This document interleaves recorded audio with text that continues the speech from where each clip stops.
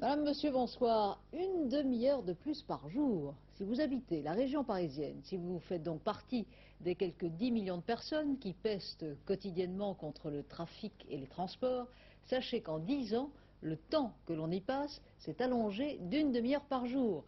La région parisienne, pourtant la plus riche de France, n'est pas nécessairement celle où l'on vit mieux bien au contraire.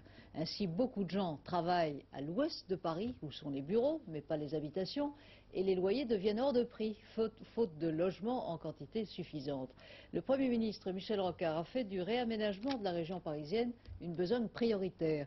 Il a présenté son plan en Conseil des ministres tout à l'heure.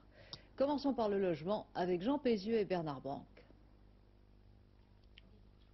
7 heures du matin, Claudine, son mari et ses fils achèvent leur petit déjeuner.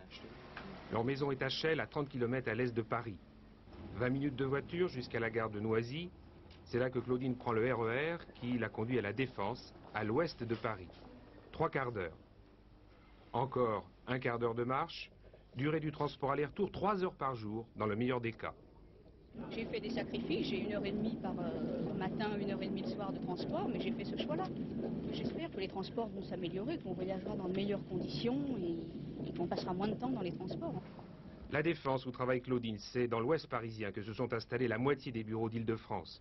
Comme beaucoup, Claudine évidemment aimerait habiter près de son travail, mais on construit deux fois moins de mètres carrés de logement que de bureaux à l'ouest et encore cher à cause de la concurrence des bureaux.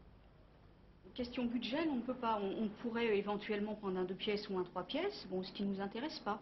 c'est trop cher c'est trop cher, les prix sont, effarants. Moi, je, j'habite l'Est, vous avez pu le voir, j'ai euh, ce que j'ai, la même chose dans l'Ouest, et, Dieu sait que nous avons cherché, et qui vaut à trois fois le même prix, avec euh, trois fois moins de terrain.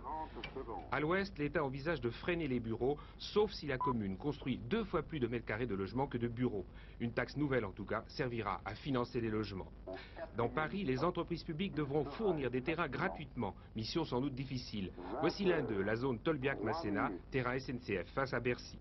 L'objectif du plan Recard, construire 10 000 logements sociaux par an en Ile-de-France, deux fois plus qu'aujourd'hui.